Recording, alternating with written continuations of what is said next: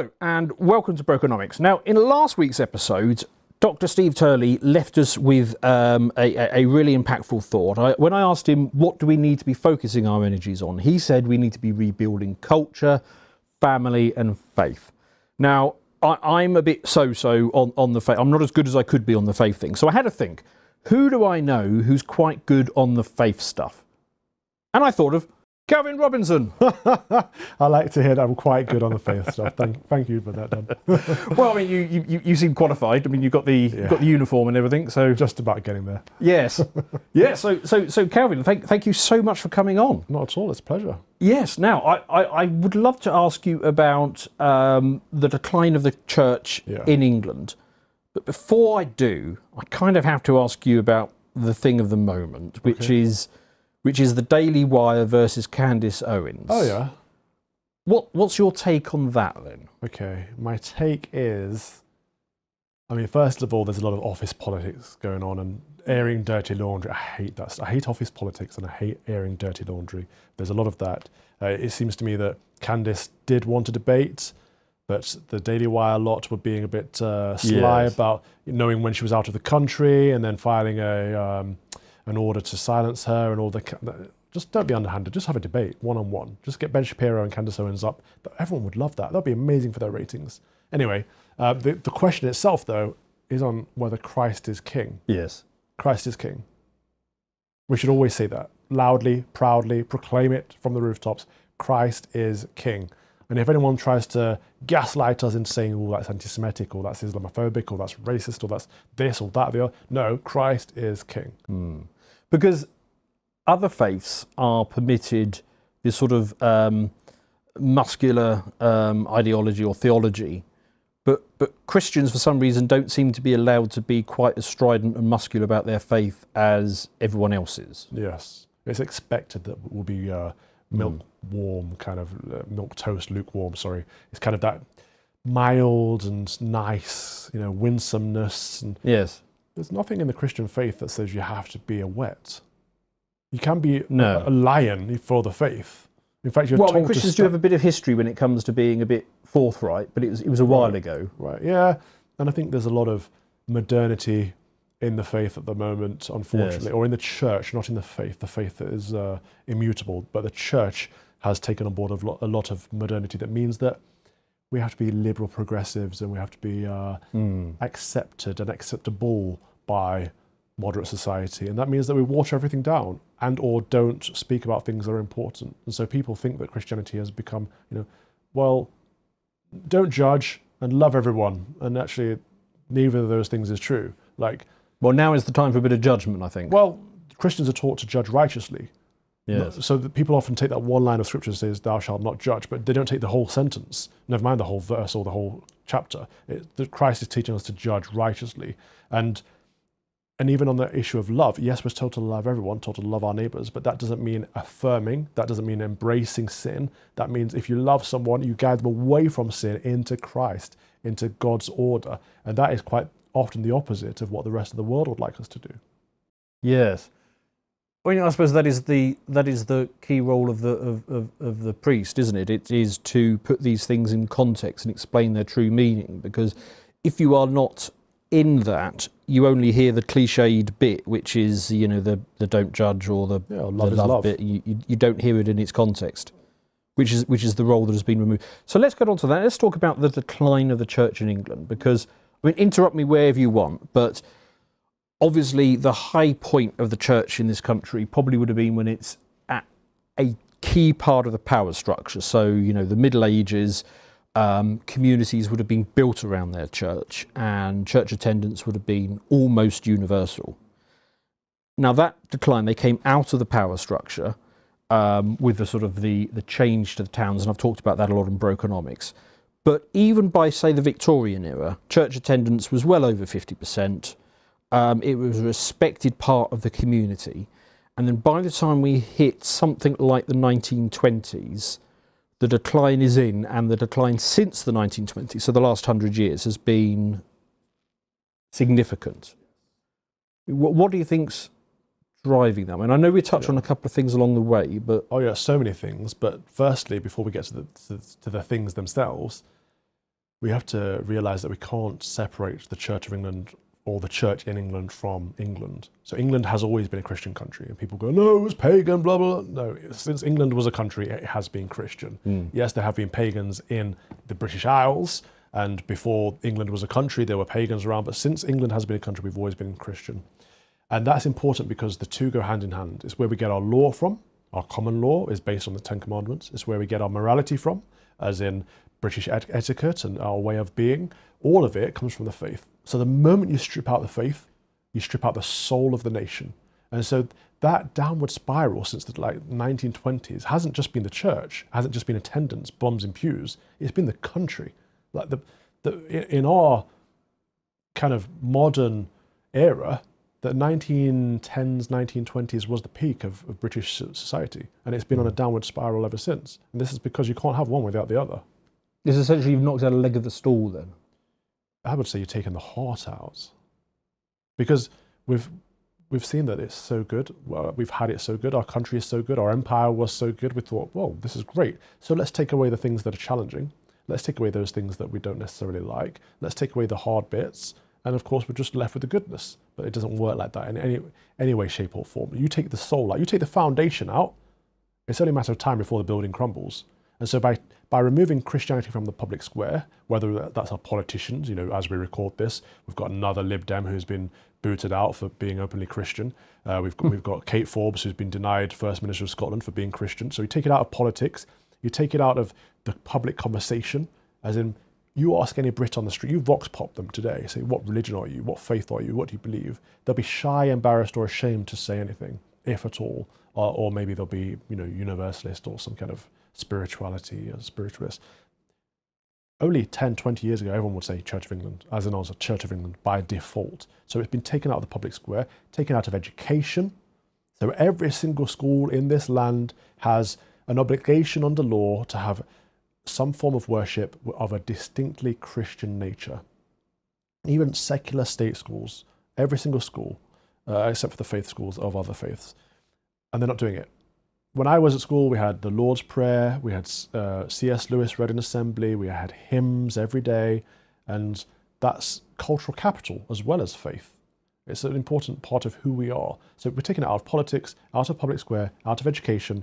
We've stripped the faith out of everything, and we've left this big void, which, as we talk about on every show, every podcast in this building, every day, pretty much, is being filled with wokeness and Mohammedanism. So we're being attacked on the right, we're being attacked on the left, and it's because we've left this massive void, and nature abhors a vacuum. Do you think that was deliberate? To some extent, yes. I mean, we can talk about how far back does it go to the Frankfurt School? Is it is it all neo-Marxism? And to some extent, it is. But I think it's even broader than that. And I look at things from a spiritual perspective, and I think this isn't a cultural war. This is a spiritual war. This is the enemy. This is this is the devil himself saying Christendom is a land that has been claimed for Christ. How do I disrupt that? How do we break that down? And so liberals, Marxists, um, Mohammedans, they're all unwit- most of them unwittingly on the side of Satan, destroying Christendom. Well, it's quite overt. I mean, at the time of filming, we've recently had the Eurovision Song Contest, which was openly satanic in Right. places. Um, and it's, it's a common theme in a lot of the music awards. And I just think, well, you know, what are these people rebelling against? They've, they've won everything.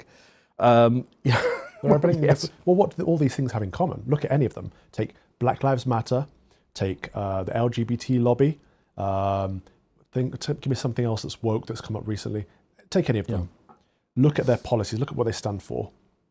It's always, always two things crop up: destroy the patriarchy and smash heteronormativity.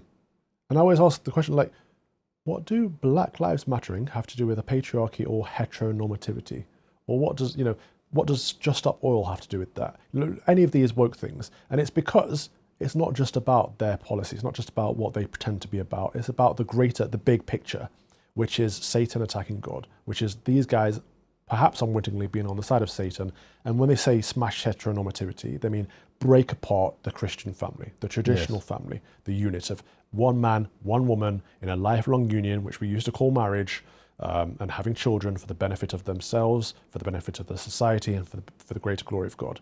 So breaking down heteronormativity and saying what we used to say was alternative lifestyles become the new normative, right? So get rid of the normative, we'll have the alternative, uh, promote that as a good thing. So evil becomes good, good becomes evil, and then we die out as a species because we're not reproducing. So smash heteronormativity and destroy the patriarchy. And they'll say, well, it's because of equality and women need to have equal rights and this and that and the other. And maybe there was an element of that argument that had some uh, truth in it. But of course, all, all lies have an element of truth in it if they want to be successful.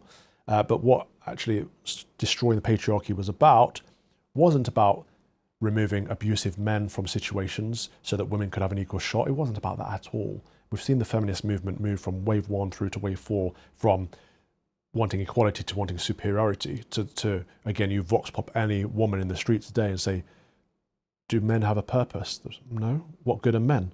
Ask them, "Do women have a purpose?" Yes, we can't. We live without women, and and in the public conversations, you can be detrimental towards men but not towards women. That's not a good thing. The sexes used to be complementary to each other. So, smash the patriarchy was, on the one hand, destroying the masculinity of men, on the other hand, destroying the idea of fathers, because we live in a fatherless society, which means that every element of our lives is worse, especially crime rates and education. And fundamentally, though, it's not about me, it's not about you, it's not about any man, it's about God. The ultimate patriarch is God our Father. He said, Call me Father. He wants a patriarchal relationship with Him. How did He reveal Himself to us? Well, through the patriarchs. Abraham is a good example. He chose, he called them patriarchs. He chose male leadership for a reason, and that's not sexist, it's not misogynistic, it's because we have differences in our sexes. Again, something we used to know that we've forgotten, that the sexes are very similar but have major differences.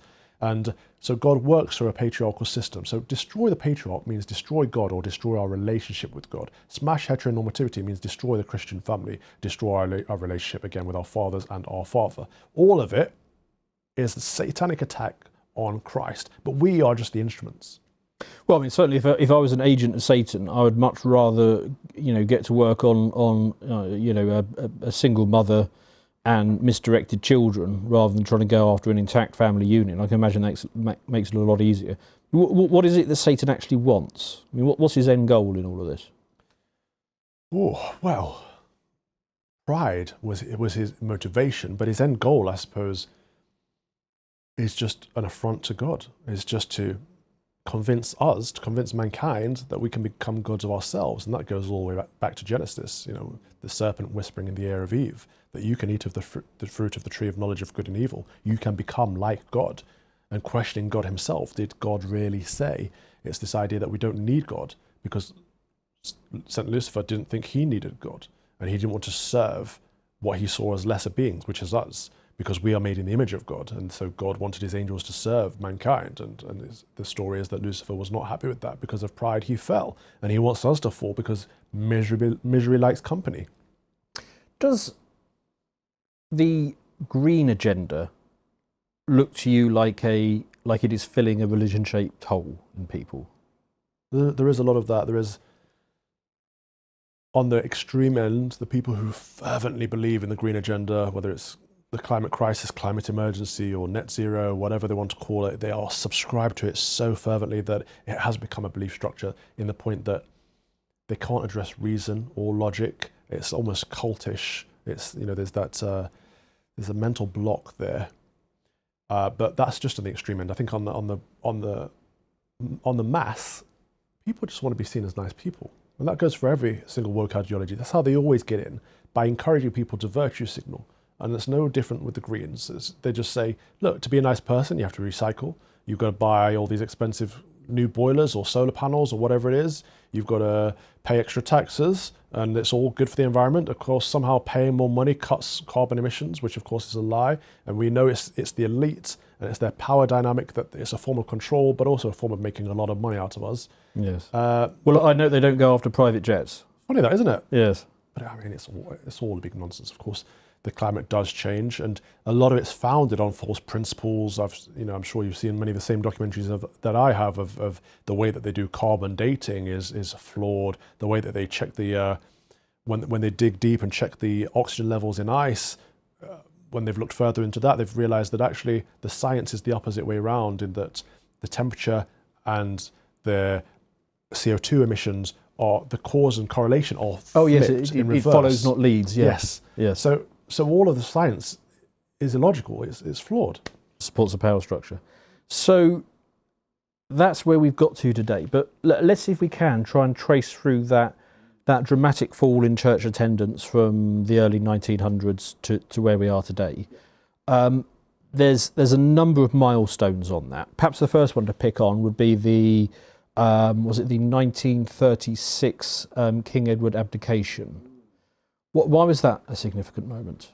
That was important because that was, I would say that was a good thing. Because at that point, we still had a chance to cling on to our moral compass. We still had an idea of what was right and what's wrong.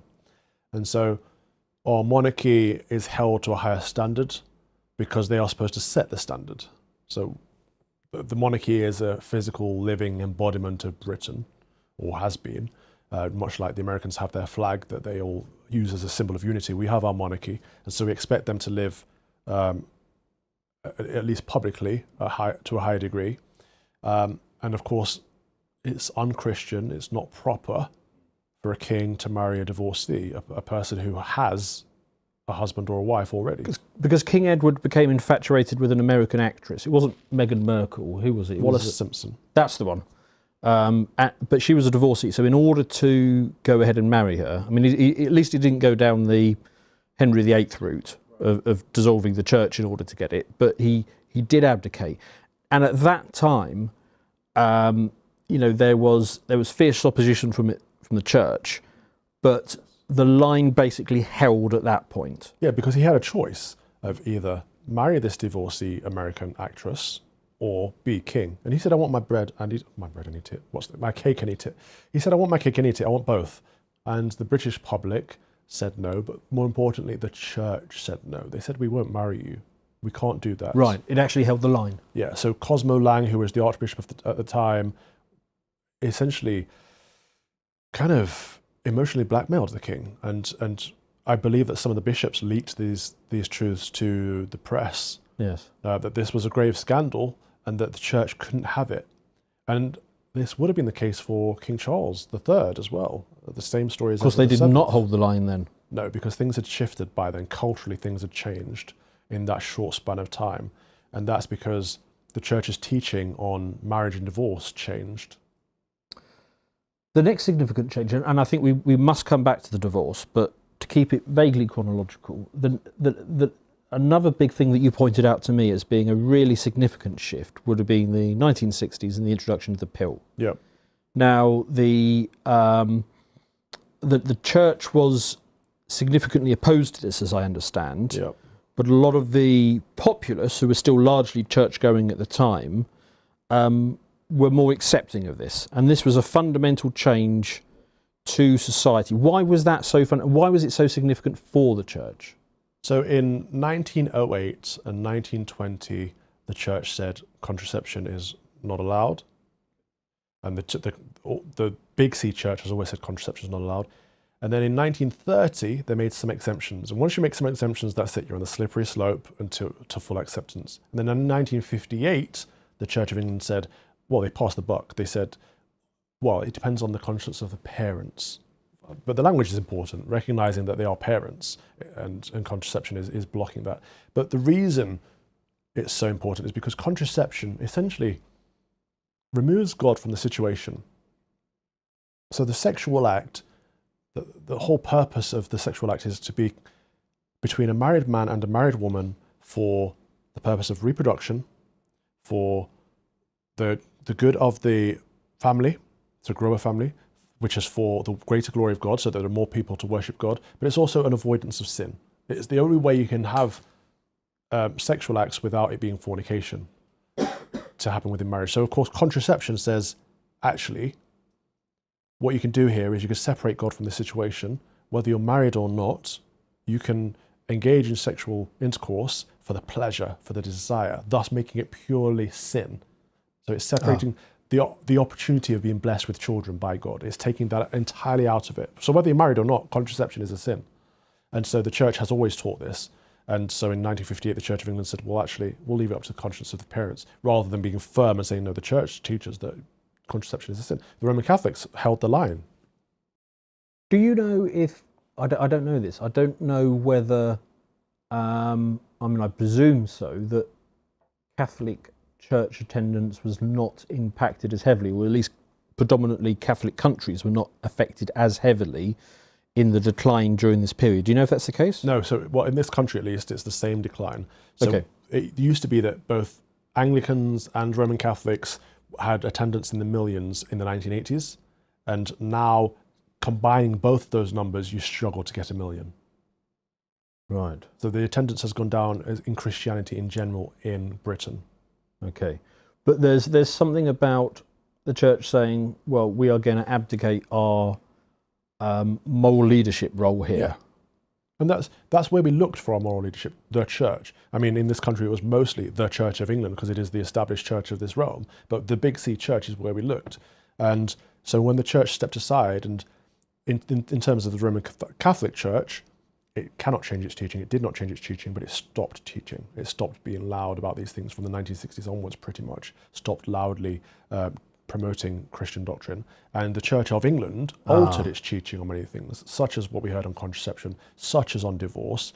Uh, we mentioned King Edward VIII's abdication, but it was in 2002, I believe, that the Church of England declared that you can now marry a divorcee who has their partner still with, alive. And that was significant for two reasons. One is because in 2005, so mere years later, King Charles, uh, uh, who was Prince Charles at the time, married Camilla Parker Bowles. So you could suggest that this was pushed through in order so that he could marry who he wanted to marry, and kings wanted to marry who they wanted to marry. Affects a lot of things in this country. But the second and most important reason it, it's significant is because marriage in the Christian faith is indissoluble. So it's not just a contract, whether social or legal. It's not just uh, about love or desire or wants or likes or attraction. It's about a union, a permanent, lifelong union between one man and one woman, and always has been. For the purpose of children? Right. I mean, it doesn't. For this part of the conversation, it doesn't matter what the purpose is. It's just the point that it's Right. indissoluble. So that means that even if you get divorced, under the eyes of God, that person, if they're still alive, they are still your husband or still your wife. Therefore, you can't, to remarry is polygamy, is sin. Right. So I'm, I'm sympathetic to um, remarriage in the event of widowing. Right. W- Was, was that a That- different thing? That's different. So if, if someone dies, Yeah. then you can remarry. Okay. And was that the case prior to? Yes, that's always been Christian teaching. Because there's the, the you know there's the parable about what if I marry my brother's uh, widow and uh, his widow and his widow and his widow. That's that story. And then Christ says, well, in heaven there are no husbands and wives because our relationships are different in heaven. But uh, so this and this was part of the problem with King Henry VIII as well. Um, so yes, you've always been able to marry if you are widowed or a widower. But if your husband or wife is still alive, you cannot get remarried unless that first marriage is annulled, as in cancelled out. And so divorce is permissible but not promoted. Divorce is not a good thing. Uh, you can get a divorce, for example, in this situation of abuse or somewhere we something where you need to. But also in this country, we've promoted no fault uh, divorce. So it's the idea that you can, well, I'm done with you, I'm bored of you now, I want to go on to something else. It undermines the whole purpose of marriage being indissoluble. Uh, but they, the Church of England left it up to individual priests, which is horrible because it means that as a priest, you can't say, well, I'm sorry, I can't do that because the church teaches. It becomes about you. So they say, well, you're a bigot. I'll go to a priest who will allow me to remarry. And that's the same with same sex unions, the same with all this kind of stuff. Women priests, whenever the church waters something down, it, it, it doesn't have the authority anymore. And it kind of makes a target of the priests. To watch the full video, please become a premium member at lotuseaters.com.